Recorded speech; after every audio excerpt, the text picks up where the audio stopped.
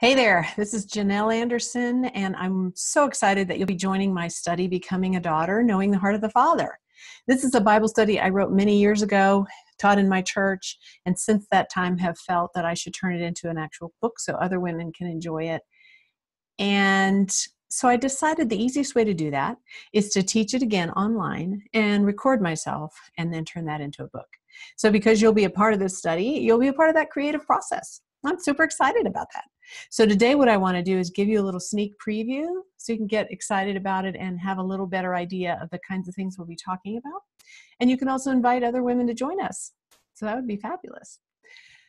So, the heart of the Father, there are 10 characteristics um, in the Bible that show us the heart of the Father. And each one of those I'll be weaving into a story from a woman in the Bible and her story. And it's just fascinating to see the heart of the Father showing up over and over again all throughout Scripture. When you really dig for it and look for it, it's like this hidden treasure. So, to begin with, I want to, and I'll be looking at some notes, so I hope that doesn't distract you. Um, so, what I want to do is just direct your attention. If you've got your Bible, great, you can open it up to Genesis, back when the Lord was creating, um, just in chapter one.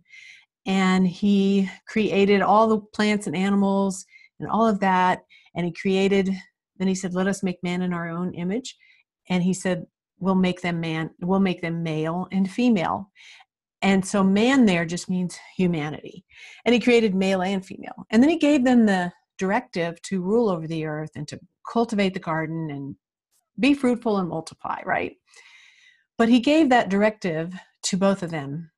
There is no distinction there between you know one being more important or higher than the other. They were equal. And what i want to draw your attention to there in genesis 2 where he he um it goes into detail about that creation of man and woman. It talks about how he formed man from the dust of the earth. But when it came time to form or create woman he put adam into a deep sleep drew out one of his ribs fashioned Eve. That word fashioned means to build, to carefully construct, and to design. We were created in a way that was completely different from anything else in creation.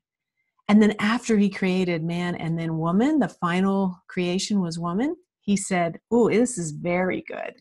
When he created everything else, he just said, This is good. But when he created woman, this is very good. And man too. But we're talking about women today. So I want to just bring out the Father's heart when He created Eve, the first woman. It was right there. The first characteristic of the Father's heart that I'm just going to give you a little preview of is that He, it's His heart to give us all things. In John, we see Jesus, in John 17, we see Jesus praying to the Father, and He's saying, All the glory you've given me, I've given to them. Everything you've made known to me i've made known to them. And in in john 3 it says that the father loved the son and gave him all things.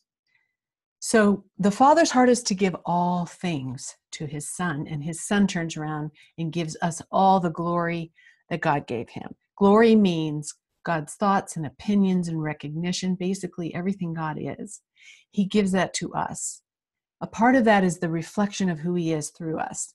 So when he created the first woman, he created her in a special way. He fashioned her and built her and designed her. And then it says there in Genesis that she was made as a helper suitable. Sometimes we hear that translated help meet. Now, I don't know about you, but I've been walking with the Lord now since 1980 every time I heard help meet, to me, it meant less than or sort of like a servant to men. And it always kind of made me cringe inside because it made me feel like I was less important, less valuable, or somehow, you know, underneath. That is not at all what that means. So the Father's heart is to give us all things. And when He created Eve, He gave her everything she needed to be equal to in every way and just as valuable and important, with just as much of a calling and a destiny to rule the earth and to cultivate it and to be fruitful and multiply. So the words helper, suitable in the Hebrew are ezer, kenegdo. Ezer is the word for help. That word is used to describe God as our help many times in scripture. So it's not a less than kind of help, it's a strong, sustainable help.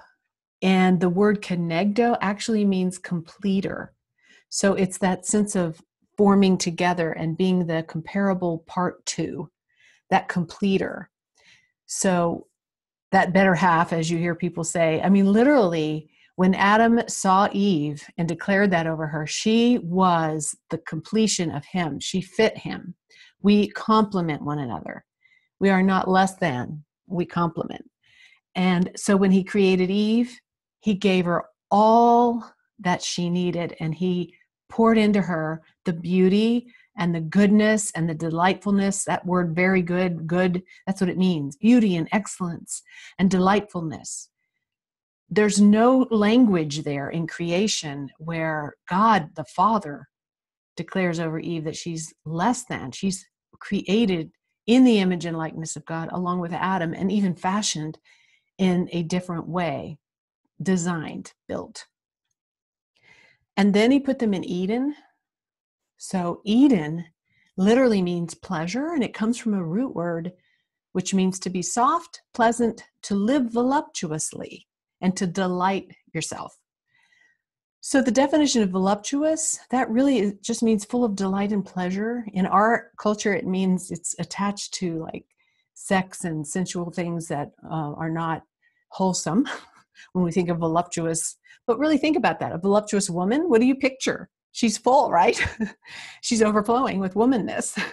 And so Eden was a place of fullness, a place of overflowing beauty and pleasure and enjoyment. So God created this place of pleasure and enjoyment and fullness and abundance for his people, for us.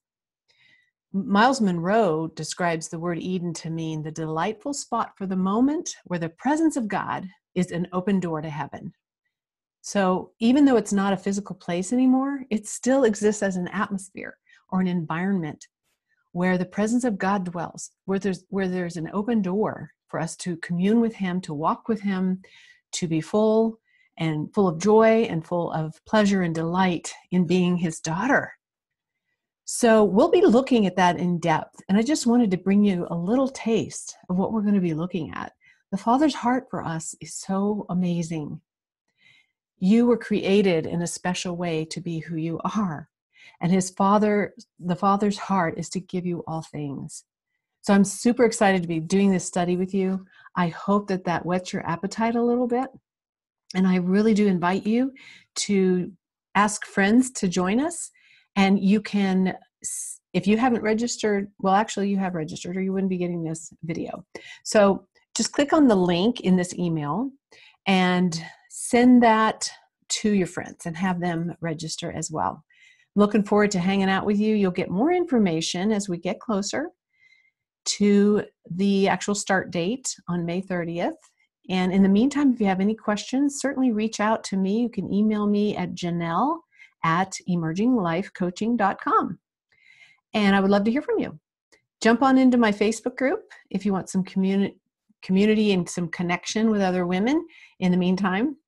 And I look forward to getting to know you and doing this study with you. Thank you again for joining me. It's a pleasure to have you as a part of this project. So, God bless, and I will be talking to you soon.